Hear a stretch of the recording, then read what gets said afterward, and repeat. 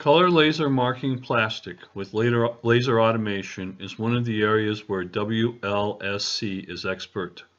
Here we demonstrate marking 1D barcode 128 and human readable text on a white plastic industrial device. The laser cycle time for this barcode and text marking is 2.3 seconds.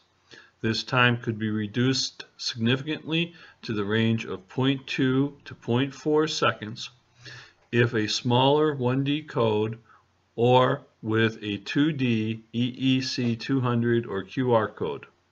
The laser marking is indelible and cannot be removed by oils or solvents unlike ink marks.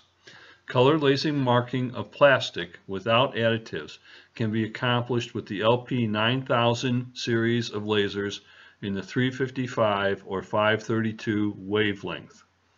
WLSC has 31 years of experience with laser automation and integrated laser systems. www.wlsc